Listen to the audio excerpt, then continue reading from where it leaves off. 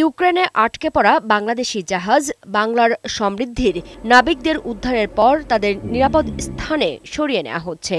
তাদেরকে মলদোভা হয়ে নিয়ে যাওয়া হচ্ছে রোমানিয়ায়। সেখান থেকেই তাদের দেশে আনার উপায় বের করা হবে বলে জানালেন পররাষ্ট্র সচিব। আমরা আশা করছি যে রোমানিয়াতে যদি পৌঁছে যায়, তাহলে তাদেরকে দেশে ফিরিয়ে আনা সহজতর হবে।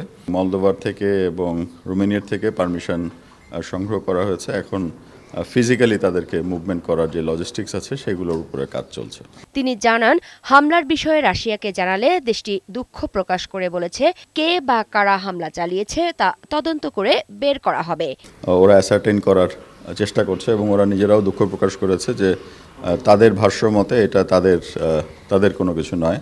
এদিকে গত কয়েক দিনে ইউক্রেনে অন্তত দুটি দেশের জাহাজ হামলায় ক্ষতিগ্রস্ত হয়েছে।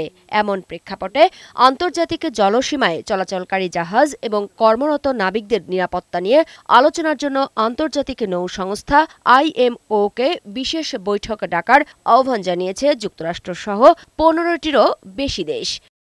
অন্যদিকে শুক্রবার সকালে চট্টগ্রামে সংবাদ সম্মেলন করে Bangladesh merchant marine officers association. এ সময় সংগঠনের পক্ষ থেকে যুদ্ধ কবলিত এলাকায় জাহাজ পরিচালনা নিয়ে প্রশ্ন তোলা হয়।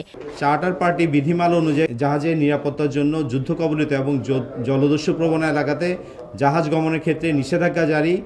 আর অথবা নিষেধাজ্ঞা আরোপ করতে পারে। এক্ষেত্রে জাহাজ মালিক কর্তৃপক্ষ বিএসসির পক্ষ থেকে কে জাহাজটিকে যুদ্ধ কবলিত এলাকায় গমনের অনুমতি দিল?